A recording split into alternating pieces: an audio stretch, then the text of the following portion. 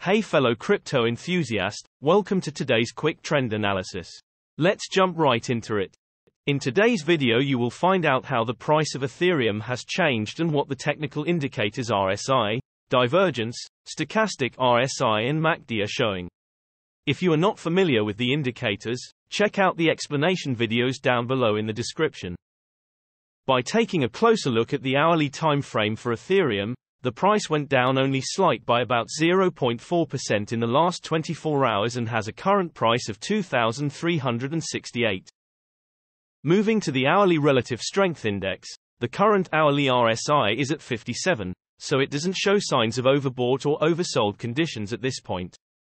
Looking for divergence in the hourly time frame, there is a bearish divergence, which means the price could go down from now or at least consolidate for some time.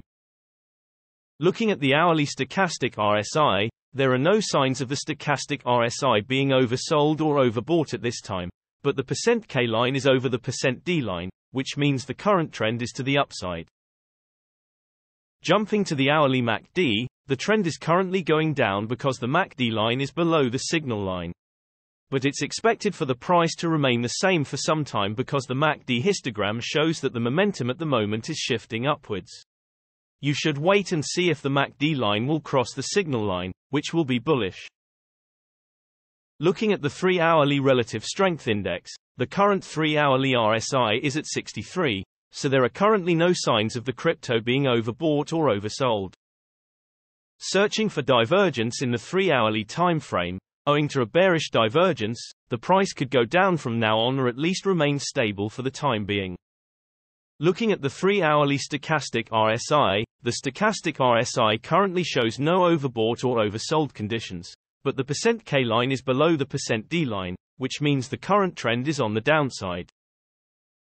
Moving to the 3-hourly MACD, the trend is currently going down because the MACD line is below the signal line.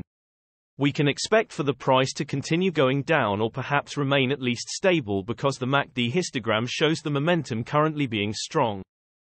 Looking at the daily relative strength index, the current daily RSI of 73 is located in the upper region, meaning that the price is being overbought and we can expect a comeback or for the price to remain on track for some time.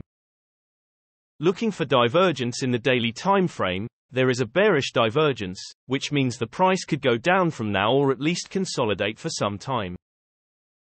Moving to the daily stochastic RSI, both the %K and %D lines are located in the higher region. This means that the price is high due to overbuying and a change in the trend, or at least some kind of consolidation, can be expected. Nevertheless, the K line has yet to cross the D line, so it's recommended that you wait and see if the trend does in fact go down. Looking at the daily MACD, seeing as the MACD line is above the signal line, meaning that the trend is currently on the up. As we can see from the MACD histogram, the momentum is indecisive at this moment. This means that we can expect for the price to remain the same for some time and you should wait and for the MACD line to cross the signal line. This will mean it's bearish. In general, the larger time frames have a greater impact on the price, so please remember that when we display different time frames with different indicators. And also the shorter time frames are only representative for the short-term trading. Thanks for watching. New videos are uploaded every few hours analyzing various cryptocurrencies, so be sure to subscribe so you don't miss out.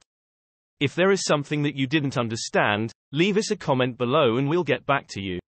You should know that trading with cryptocurrencies is very risky and these videos are only an overview of what happens with the price and the pure technical analysis without considering the fundamentals. So you should read more and make your own investing decisions. See you next time. See you next time.